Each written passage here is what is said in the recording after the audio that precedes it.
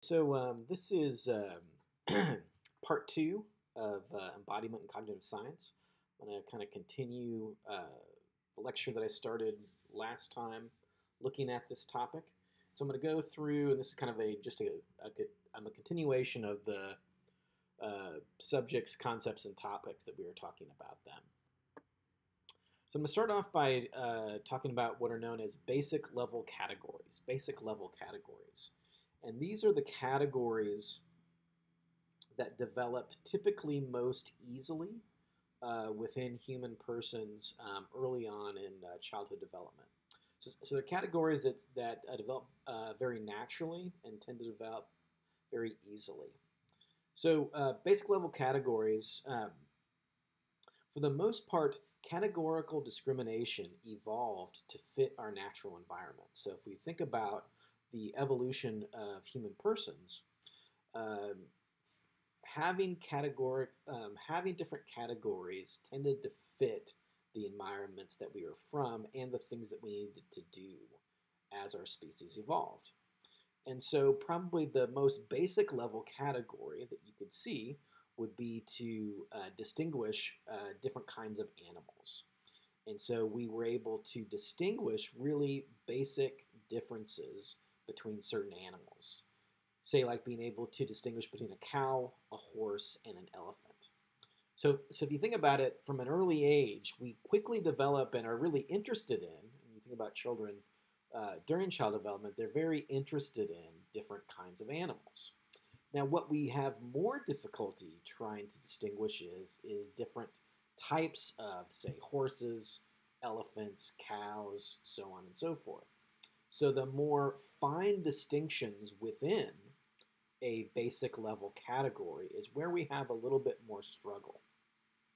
So the easiest category, uh, these are the easiest categories to learn in contrast to superordinate categories, uh, which would be, be more kind of broad-based or abstract categories, such as animals, and then as subordinate categories, which are the categories of kind of the more fine distinctions between different kinds of horses or different kinds of cats, um, et cetera, et cetera. So some, there's some basic properties to these basic level categories. One is for the most part the highest level represented by um, tends to be represented by a single mental uh, a single mental image. So if I say something like a horse, we tend to have an image of that horse in our mind. Um, whereas if you were to state the category animal, for the most part, there isn't really an image of that because an animal takes up so many different uh, kinds of basic level categories. So we don't really have a specific image that's associated with that. So um, the way in which these categories get built um, are based on perceived visual similarities. And so you can maybe see where the embodiment is coming in. These categories begin, these, these basic level categories begin based on the very uh, primary visual distinctions there are between, say, for example, a horse, um, an elephant, a cat, so on and so forth. And then we begin to develop these categories based on things that are very similar. So, for example, horses have manes, they have four legs, they have a long face, so on and so forth. There's all these different similarities, visual similarities, to this category of horse. Um, it's also the case when you think about when we move on to different objects that we see, basic level categories tend to be categories that we have similar motor actions when we're interacting with that thing. Say, for example, um, a chair has a very common motor action for sitting. So the category of chair is more of that basic level category because chairs tend to have four legs. We tend to sit in those seen those seen those kinds of uh, we tend to sit in chairs, so we have a basic um, motor memory system that's involved in the ways in which we sit in chairs. Um, whereas when you go to a more superordinate category, such as furniture, furniture doesn't really have anything um, motor related that applies to all different kinds of furniture, be that tables, beds, so on and so forth. So um, most of our categorical knowledge tends to be organized and tends to be much more intuitive at this kind of base level or this basic level of categories. So where these basic uh, level categories start at is a type of schema. We've talked about schemas before in this class.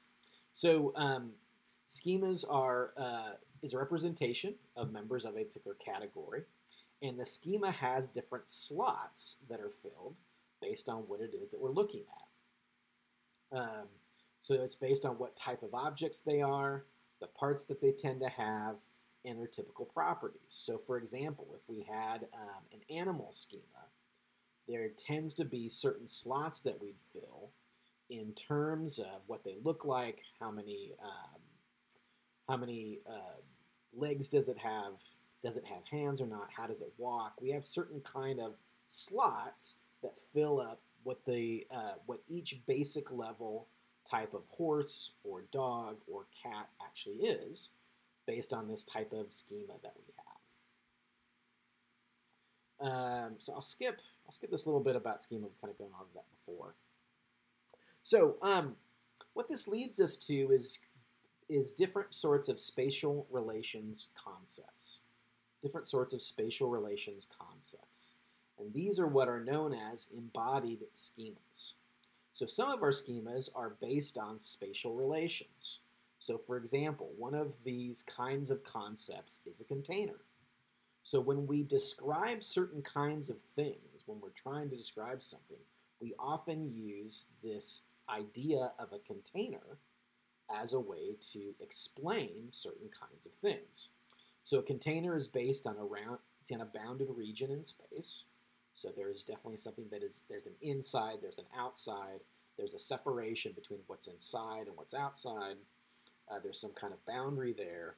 And a container, which is something that, once again, from early on, um, we are interacting with different kinds of containers. Say, for example, young children, uh, one of the things that they love more than anything is a box. They love to explore the box, uh, see what's going on inside the box, what's, a, what's, what's going on outside the box. And so that may be part of the reason why, or it's part of the reason why these kinds of categories or this container schema tends to come to us so easily and so quickly. Um, so for the container schema, uh, uh, sensory motor experiences are the organizing scaffolding for concepts and words that we use. So the word in functions grammatically according to the container schema. So we talk of persons falling in love. So when you're in love, you're inside the container. Or we talk about persons falling out of love. Or um, and so when you are no longer in that state, then you are outside of the container children get into trouble um, or they get out of trouble. And so what we're doing is we're using this kind of container as a kind of, in some ways, really kind of a basic level or a, as a type of, it's a type of schema. And then we use that schema to describe all other kinds of things. Um, so when you're inside the container, that means that you're holding the property, say of being in love. And when you are outside the container, you are no longer um, holding that property of love, and thus you are no longer in that state anymore. And that's one of the reasons why we use those kinds of words like in and out to describe spatial relations uh, that we have early on. All of us, um, all of us, for the most part, experience these kinds of spatial relations, and that's where some of this language that we use actually emerges from. Um, so another um, aspect of the container schema is the self as a container. So it's located, um, so the self is located in a container, so control of the subject by the self. Um, things that are not located in the container are out of control of the self. So if we think of things like I was beside myself, um, he is out to lunch, meaning he's not really um, paying attention, I'm out of it today. Are you out of your mind? we use these things as when you aren't in the proper state of selfhood, when you aren't fully in control, then you are outside of this container schema, or well, we're using this container schema as a way to describe these kinds of things, these kinds of more abstract um, personality characteristics that we observe. So, all complex metaphors are made up of primary or atomic metaphors. These metaphors are based on sensorimotor experiences that shape or act as a schema for language and concepts that we have. Um, all concepts are based on common bodily experiences that we have among humans. So these spatial relations concepts give us the start of these kind of primary metaphors that we tend to use. And these primary metaphors are once again based on these kinds of bodily experiences that we have. So, for example, intimacy is closeness. The subjective of experience we have is intimacy. The sensorimotor experience that we have is being physically close. And um, this really goes back to, or is related to, that concept from, from the last lecture where we called people warm if uh, we felt close to them or, or we liked their personality. It's the same sort of thing. When we feel intimate with someone, we feel close to them. Uh, there's something about physical proximity is the um, experience that we all commonly have um, that we use to describe something like emotional intimacy. And that's where it comes from. People who we are close to, we tend to be in close physical proximity to. People who we feel distant to, people who we don't know um, or understand, tend to be further away. So the example that we give here, we've been close for years, but now we are starting to drift apart. So because of um, because some of these more abstract concepts like love and like intimacy are often difficult for us to, to describe, we use more basic kinds of sensory motor experiences, such as distance, such as closeness, such as further feeling further away, to describe what these things are like. So we've been close for years, seems to indicate that, that this couple were close or were very intimate, but now we're starting to drift apart. So, uh, so once again, the primary experience here is being physically close to people you are intimate with. So it is the basic sensorimotor experience that gets mapped onto something that's slightly more abstract, which is things like intimacy and love. Another really simple one um, and uh, somewhat basic to who we are um, is something like bad is stinky. When we don't, the feeling we have of disgust is usually associated with things that we don't like. So the subjective judgment is evaluation. The sensorimotor domain is smell. So the example is this movie stinks. Um, the primary experience is being repelled by foul smelling objects. And so, um, for the most part, we have this we have an evolved system, an evolved disgust system that um, we use to um, smell out uh, different different uh, potential dangers, be that food or otherwise. And so then that basic level system also gets mapped onto other sorts of things that we either like um, that we either like or dislike. Well, in this case, it would be primarily disliking something. So something that we don't like, we get a sense of disgust from. Um, we see them as vile, and that comes from that kind of sensorimotor uh, disgust reflex that all human beings have. Interestingly, um, that's also one of the ways um, this same kind of sensorimotor experience is also the ways that we um, understand and feel the emotions of others. So, one study that was done uh, back in 2003 by uh, Wicker um, and their colleagues was that they did, they did an a, a fMRI analysis during the observation of disgust. So, persons would watch three different kinds of persons. Um, uh, smelling a particular um, glass or a clear glass, and then they noted what kinds of areas of the brain became activated when they were looking at something and, and either gave a pleasurable facial expression, neutral facial expression, or a dis, or a or a um, a facial a facial expression of disgust. And what they found is the fMRI analysis demonstrated an overlap in the areas activated during the observation of disgust and the actual experience of disgust. Um, this was the primary anterior insula and the partially anterior cingulate cortex. And you remember we've talked a little bit about this before when we were talking about mirror neurons. And mirror neurons are neurons that are activated both in the observation of something and the performance of that action. It seems to be that there's similar circuits in terms of things like emotion, especially something like uh, disgust. And the idea is when you observe someone who is, um, uh, see, when you observe someone in disgust, the same areas of the brain become activated when you yourself are experiencing disgust.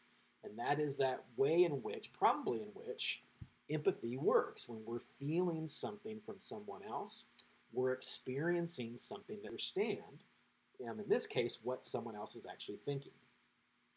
So we perceive emotions by activating the same emotions in ourselves. We understand what someone else's emotions are by actually having that emotional experience ourselves.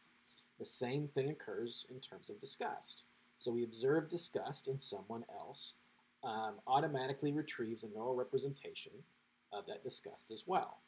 So once again, how does how does this apply to kind of this embodiment sort of idea that we've been talking about? We can think about it in terms of morality. Where do our moral laws and our moral values and our moral judgments actually come from? Uh, one model of this is based on, is based on the work of Jonathan Haidt, and he has what's called uh, the social intuitionist model. And he argues that, mo- uh, that moral categories are based on embodied experience, such as disgust. So things that we dislike morally, things that we fall, uh, things that we find morally reprehensible, actually activate um, our own disgust response in us. And and what's and what this does is it it takes um, moral let's see moral displeasure or things that we find morally reprehensible make use of the universal features of the disgust mechanism that happens uh, for all humans. All humans have some sort of a disgust response. Um, everyone has smelled something disgusting in their lives. And actually, our moral apprehension or our moral repulsion to something develops or becomes uh, linked with this particular category. Um, so, moral, uh, moral categories become abstracted from these more base level sorts of embodied experiences. And what Haidt would argue is, you know, the moral laws and the moral rules that we develop actually come out of or emerge from these more basic level bodily sorts of um, experiences that the human uh, person has. That's where we see things as disgusting or we see someone as morally uh, disgusting because we are feeling something disgusting about that person and then mapping that onto the um, our moral uh, our moral uh, revulsion of what it is that they're actually doing. Now, a second set of uh, second set of motor actions that uh, might apply to this idea of knowledge understanding is uh, this common experience of grasping. All of us know how to grasp something. Grasping is a normal part of of what happens for most um, human beings. So the subjective judgment is uh, comprehension. The sensor demo- uh, I'm sorry, the sensorimotor domain is object manipulation. So the example is I've never been able to grasp statistics. And the idea is I've never been able to understand statistics. And once again, the inability to grab something, or um, when you don't, when you're not able to reach something, when something is out of reach, you're unable to grasp it, becomes mapped onto this idea of a conceptual understanding of how statistics works. I'm sure none of you would say, especially if you've taken my statistics class, you would never say you weren't able to grasp statistics. Um, but maybe prior to taking my class, maybe you had more difficulty grasping statistics. Sorry about that horrible joke. Let's move on. Okay, so it's the same thing that we use. Basic sensorimotor experience gets mapped onto something more abstract. And that's because from an early age, we're getting information about objects by grasping it and by manipulating it. We think again once more to um, early childhood development. Me, one of the things that kids like to do more than anything is grab whatever's is around them and look at it, feel it, movement, see how heavy it is, can they throw it? And uh, so, one of the things you do with a young infant is you give them all kinds of objects to play with. Or, um, if you're needing to distract your child for a few minutes, what do you usually do? You give them a key um, or your key ring, and they'll start to look at it. And so, part of our basic human development is interacting with objects to understand them. And so that early experiential component of understanding that's involved in grasping gets mapped onto more abstract sorts of things like statistics or history or mathematics or whatever it might be. So, um, early childhood exploration. Um, basic aspect of early of early childhood is this idea of exploration. Uh, most infants and children regularly pick up and manipulate the objects around him. Uh, in fact, most of the time, these objects tend to go in, uh, tend to go uh, inside their mouths, and thus this early experience of manipulation of objects becomes this basis. I'm sorry, becomes the basis for our schema for knowledge and whether or not we understand something or not. Okay, um, another example of um, of this is the source path goal schema. So many of the schemas we use are based on spatial locations and movement.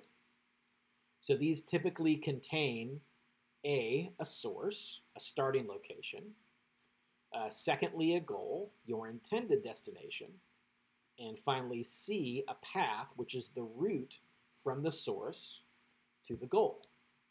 And so, thus, we're using, once again, a spatial model to understand certain sorts of things. One of the um, primary ways that this is often used is with the concept of love. So lovers are often uh, are often understood as travelers. Uh, their their common life goals are often understood as destinations. The relationship is a type of vehicle that they are in and trying to get to. Um, the difficulties are often seen as impediments to their motion or their ability to move. So when we think about this in terms of sayings that are done, uh, couples will often say things like, Look how far we've come. It's been a long, bumpy road in our relationship. Uh, we're heading in different directions when things aren't going as well. We may have to go our separate ways um, if a relationship is ending and find the relationship is not going anywhere. So, once again, it's this idea of using spatial metaphors to understand something slightly more abstract, which in this case would be love. All right, so that's part two of embodiment and cognitive science. Hope you enjoyed the lecture, and uh, I'll talk to you soon.